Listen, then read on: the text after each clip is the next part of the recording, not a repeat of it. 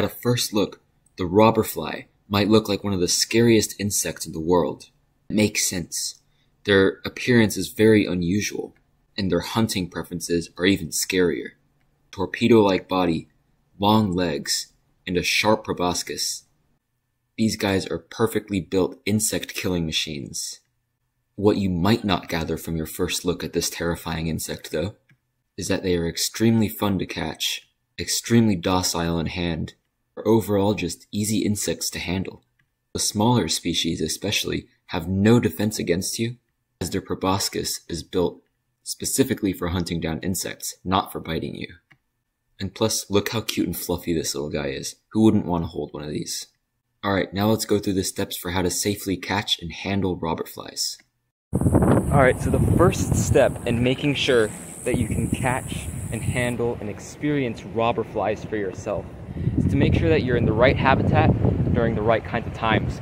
So here in South Florida, all of the robber fly species that I see most of the time occur in these sandy scrub habitats with pine trees, lots of dried plants at the bottom, lots of palm trees, vines growing, this kind of habitat right here, the Florida scrub, is where I see all different kinds of robber flies from Efferia, Megaphorus, Proctocanthus, so many different genera, Amadeus, and um, I just saw one flying. So also you're going to be wanting to be out during the right time.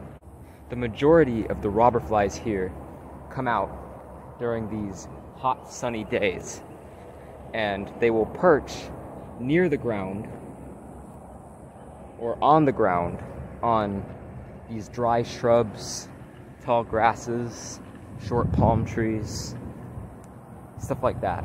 So, the best way to find these guys is to go slightly off trail, but also don't really disrupt the habitat. So, try and shuffle through these kinds of spots, and eventually you might scare one up from its perch. They could be really hard to spot while they're perching. But if you shuffle through the right spots, you might spook one out of its perching spot.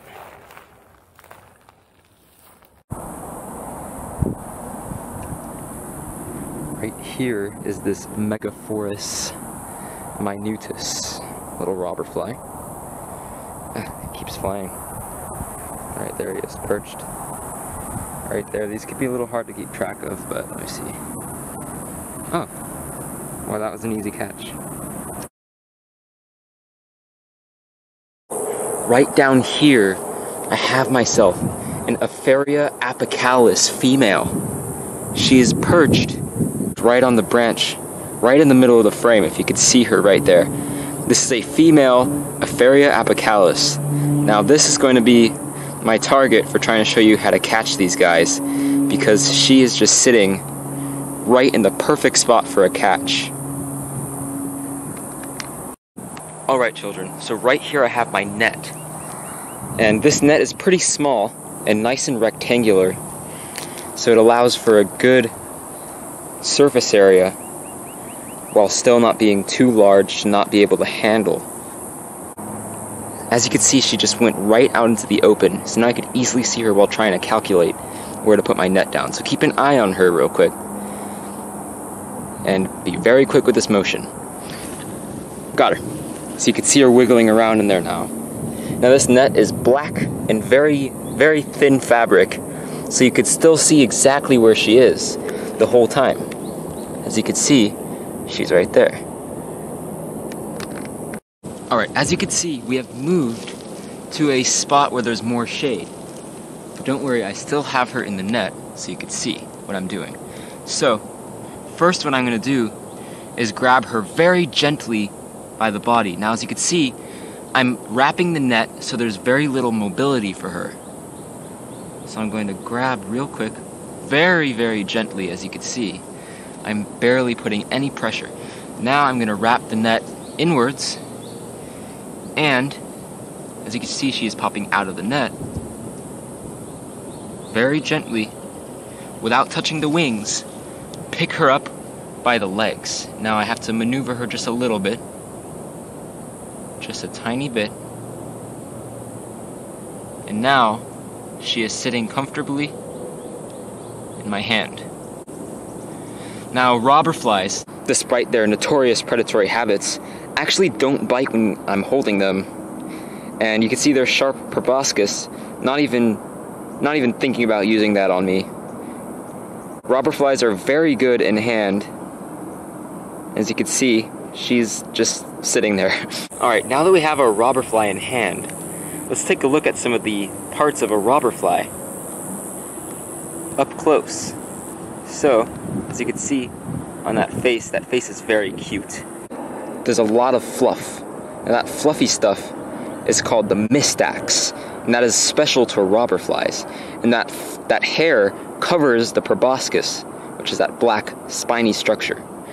Now, besides that, they have pretty much the same anatomy as other flies, with the scutum on the top of the thorax, a scutellum being that little bump at the back of the thorax, and just the normal legs and abdomen.